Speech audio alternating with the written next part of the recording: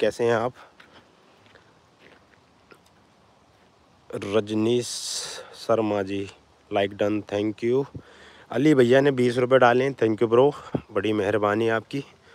बीस रुपये की चॉकलेट तो आ ही जाएगी मेरी बेटी के लिए थैंक यू पाजी, ये छोटी चिड़िया सर्दियों में कहाँ रहती हैं?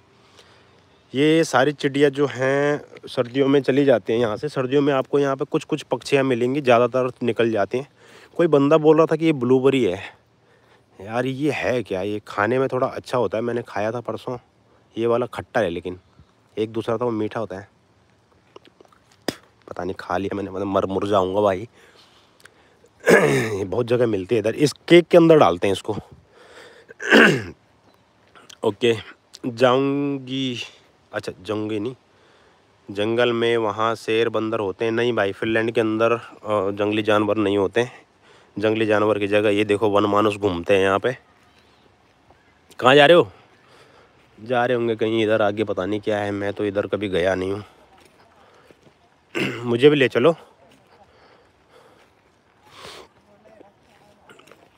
इधर पता नहीं आगे क्या है, रेलवे स्टेशन टाइप का। इधर नहीं घर घुर भी दिख रहे हैं भाई, इधर पता नहीं। इधर की तरफ़ मैं कभी गया नहीं हूँ, इधर ही। वो सामने फुटबॉल ग्राउंड है।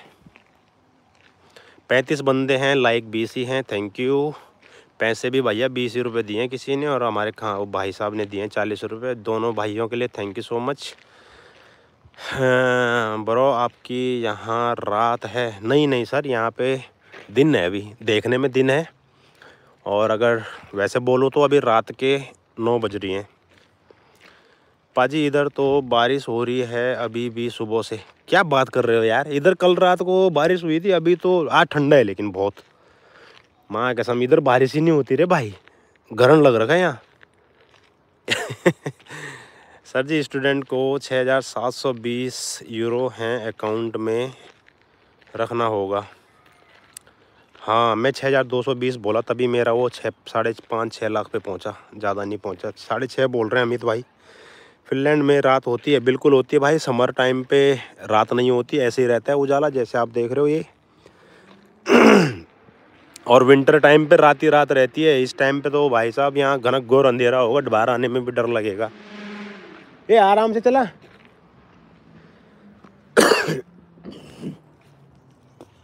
खांसी भी हो रही है मुझे तो। पता नहीं नीचे, भाई साहब नीचे यार यहाँ वो हो इधर तो बड़े अच्छे अच्छे घर हैं यार। और ये देखो भाई साहब, यहाँ बैठने का ना माँ कसम, अगली बार ब्लॉग बनाने इधर ही आऊँगा मैं। यहाँ पे बैठ के, ये ये अच्छी जगह है भाई। यहाँ पे बैठूँगा, यहाँ रखूँगा कैमरा, यहाँ पे ब्लॉगिंग करूँगा। ओहो, इधर तो लड़के, लड़कियाँ बैठी हैं। लेकिन ये जगह पे मैं पहली बार आया हूँ। है तो अच्छी जगह ये।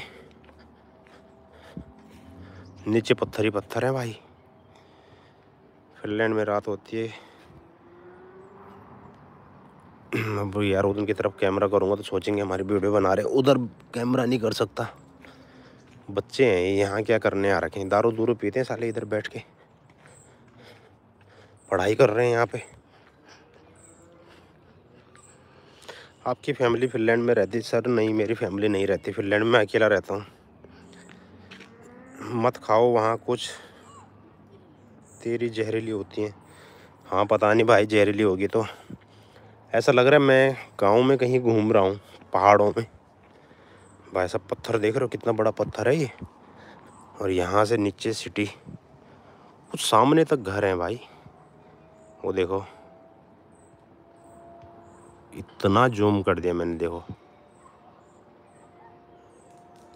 इतना जूम करने के बाद भी पचास लोग मेरी लाइव में बने हुए हैं। पहली बार। थैंक यू सो मच आप सबका। और भाई साहब, ये है फिनलैंड की खूबसूरती। देख रहे हो? किसी टाइम पे मैं ऐसे अपने उत्तराखंड में, पहाड़ों में, ऐसे पत्थरों में हम लोग बैठे होते थे, जैसे यहाँ पे पूरे पहाड़ में पत्थर ही पत्थर। आज मैं पहली बार इधर आया हूँ तो अभी मैं हमेशा इधर आऊँगा और यहाँ ब्लॉगिंग करूँगा। ये व्यू बड़ा अच्छा है, मुझे लगता है ब्लॉगिंग वगैरह के लिए।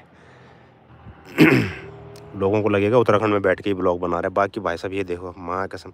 चारों तरफ़ जंगल ही जंगल है और बीच में बीच में भाई घर। देख रहे हो? कैसा लग रहा है आप लोग